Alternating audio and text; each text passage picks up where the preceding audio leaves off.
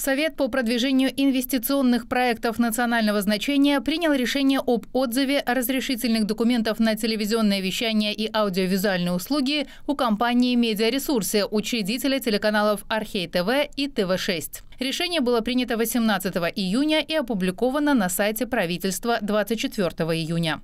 Члены Совета считают, что медиаресурсы связаны, как указано в документе, с преступной группировкой Илона Шора. С ней связан и учредитель компании Думитру Китурага, который находится в санкционных списках. При этом неясно, как именно и на основании каких фактов были сделаны такие выводы. Адвокат телеканалов ТВ-6 и Архей ТВ Наталья Байрам считает это решение неконституционным. Пятому каналу она сообщила, что это решение будет оспорено.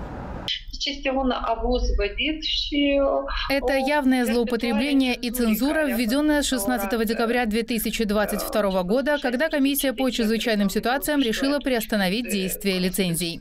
На чем основано утверждение, что администратор компании Думитру Китурага связан с Шором? На чем это основано? Есть что-то в письменном виде, доказательства, есть решение, которым установлены данные факты. Это утверждение без доказательной базы. Среди участников заседания комиссии по инвестициям премьер-министр Дарин Ричан, министр экономического развития и цифровизации Думитру Алаба, министр инфраструктуры Андрей Спыну, руководитель агентства по инвестициям и службы информации и безопасности. Пятый канал направил запрос в эти учреждения, чтобы получить подтверждение, действительно ли их представители участвовали в заседании, а также попросил сообщить, во сколько оно началось, какие решения были приняты и какие аргументы послужили основанием для отзыва лицензии. Однако никто Никто из ответственных лиц на наш запрос не ответил. Ранее, после заседания Совета по продвижению инвестиционных проектов национального значения, на котором было принято решение о приостановке вещания Пятого канала, министр сельского хозяйства Владимир Боля заявил нашему корреспонденту, что не участвовал в нем. Однако его имя в протоколе указано. Напомним, 20 марта Совет по продвижению инвестиционных проектов национального значения в качестве превентивной меры принял решение о приостановке действия разрешительных документов компании Media Content Distribution, владеющей телекомпанией «Канал 5» и радиостанцией «Маэстро ФМ». В связи с этим Пятый канал неоднократно заявлял, что все обвинения в адрес телеканала являются грубой ложью, лишены доказательств и законных оснований.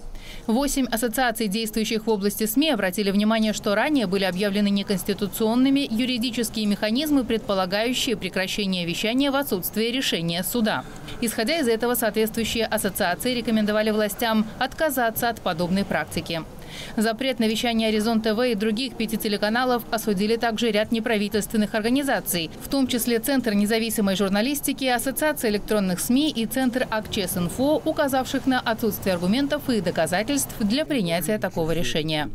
Позже, в конце мая, Совет по продвижению инвестиционных проектов национального значения лишил пять телеканалов лицензии на вещание, отозвав разрешительные документы. Это «Примул ин Молдова», «Акчен ТВ», «Аризон ТВ», «Канал 2» и «Канал 3».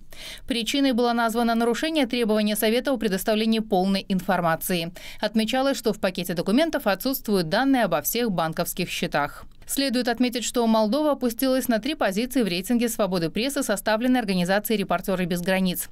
Организация обращает внимание, что чрезвычайное положение, объявленное из-за войны в Украине, власти использовали для приостановки действия лицензий нескольких телеканалов накануне выборов в 2023 году, не обеспечив адекватной транспарентности мотивов такого решения.